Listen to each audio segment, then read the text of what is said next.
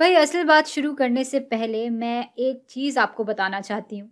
और वो ये है कि ज़ाती तौर पे स्कूल के ज़माने में तफ़ाल, यानी फ़ंक्शंस मुझे कभी भी समझ नहीं आए। भाई, मुझे समझ ही नहीं आता था कि इक्वेशंस और फ़ंक्शंस दो मुख्तलिफ़ चीज़ें क्यों हैं, जबकि हम दोनों को तकरीबन एक ही तरह से हल करते हैं। भाई, इसकी तो कोई तुक नहीं बनती, है ना? या शायद बनती है। तो सालों बाद इधर उधर ठोकरें खाकर आखिरकार मुझे समझ आ ही गया कि फ़ंक्शंस और इक्वेशंस दो अलग अलग चीज़ें क्यों हैं। अच्छा ऐसा नहीं है कि इन दोनों के बीच में कुछ भी मिलता जुलता नहीं है। कुछ इक्वेशंस फ़ंक्शंस की तरह भी काम करती हैं और कुछ फ़ंक्शंस इक्वेशन की तरह भी काम करते हैं। लेकिन हर इक्वेशन ज़रूरी नहीं है कि फ़ंक्शन हो और इसी तरह हर फ़ंक्शन ज़रूरी नहीं है कि इक्वेशन हो। लो भाई, पक गई खिचड़ी। लेकिन अगर मैं इसको कुछ इस तरह से दिखाऊँ तो बात शायद कुछ कुछ समझ में आने लगे। तो भाई, ये अगर हमारी इक्वेशन की दुनिया है और ये अगर हमारी फ़ंक्शंस की दुनिया है तो इन दोनों का कुछ हिस्सा तो मिलता जुलता होगा। और हम कुछ ही देर में देखेंगे कि इस हिस्से में असल में होता क्या है। तो भाई, जो इक्वेशन फ़ंक्शन नहीं है, वो इस हिस्से में होगी। जैसे बहुत आसान मिसाल ले लें तो x plus three is equal to ten एक इक्वेशन है। अब भाई, इस वक्त मैं ये नहीं देख रही कि इस इक्वेशन में क्या दाखिल हो रहा है और इससे क्या जवाब आ रहा है या इसमें वेरिएबल्स के दरमियान ताल्लुक क्या है। खैर, यहाँ तो वेरिएबल्स के दरमियान वैसे भी कोई ताल्लुक नहीं हो सकता, क्योंकि इधर तो सिर्फ़ एक ही वेरिएबल है। हाँ लेकिन फ़ंक्शंस में असल में हमेशा हम वेरिएबल्स के दरमियान कोई ताल्लुक दिखा रहे होते हैं। भाई, आप फ़ंक्शन में कोई वेरिएबल दाखिल करते हैं और उसके आउटपुट में हमें एक मुनफरद जवाब मिल जाता है। और फ़ंक्शन को आप बहुत सी मुख्तलिफ़ शक्लों में दिखा सकते हैं। इक्वेशन की शक्ल में दिखाना चाहें तो इक्वेशन की शक्ल में भी दिखा सकते हैं। या अगर आप चाहें तो ग्राफ की शक्ल में भी दिखा सकते हैं। जैसे मैं यहाँ किसी फ़ंक्शन को दिखाने के लिए ग्राफ बना लेती हूँ और इसकी इकदार भी लिख लेते हैं। तो यहाँ एक्स की इकदार हो गए एक, दो और तीन, और यहाँ मैं फ़ंक्शन की इकदार लिख लूँगी।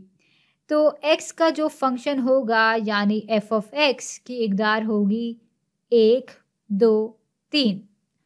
और फ़र्ज़ कर लेते हैं कि फ़ंक्शन सिर्फ़ मस्बत इकदार ही दिखा रहा है, इसलिए इसका ग्राफ कुछ ऐसा दिखता है। तो भाई, अब मुझे इस फ़ंक्शन को दिखाने के लिए और कुछ लिखने की या बनाने की कोई ज़रूरत नहीं है।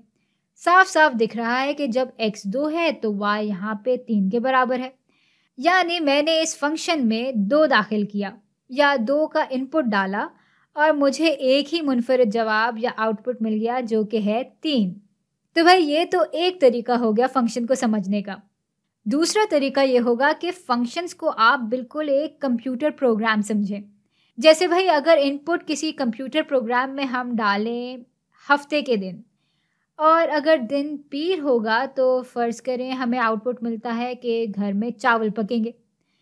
वरना आउटपुट होगा कि घर में रोटी पकेगी।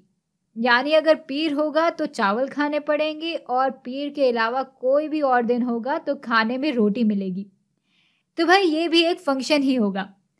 क्योंकि पहली बात तो ये है कि हमें दो वेरिएबल्स यानी दिन और उस दिन खाने में क्या पकेगा, उसके बीच का ताल्लुक दिखाया जा रहा है।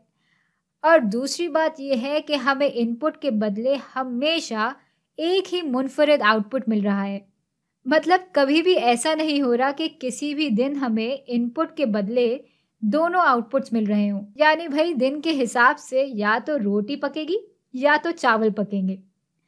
अच्छा अब ये वाला हिस्सा तो रह ही गया। तो भाई, अगर हम इस हिस्से का सोचें, जहाँ इक्वेशन जो है, वो फ़ंक्शन को ही दिखा रही होती है तो भाई, इसकी मिसाल ये हो सकती है कि y बराबर है चार ज़रब x तफरीक दस के। भाई, अब ये इक्वेशन बहुत काम की है, क्योंकि ये एक फ़ंक्शन को दिखाने के लिए भी इस्तेमाल हो सकती है। बल्कि, अगर सोचा जाए तो ये इक्वेशन y को x के फ़ंक्शन की शक्ल में ही दिखा रही है। जहाँ अगर x की कोई भी कदर इनपुट की तरह इस फ़ंक्शन या इक्वेशन में डालें तो हमें आउटपुट y की शक्ल में मिल जाता है, जो कि ज़ाहिर सी बात है कि हर इनपुट के लिए एक मुनफरद कदर होगी। और बस फ़ंक्शन और इक्वेशन में सिर्फ़ एक यही फ़र्क है।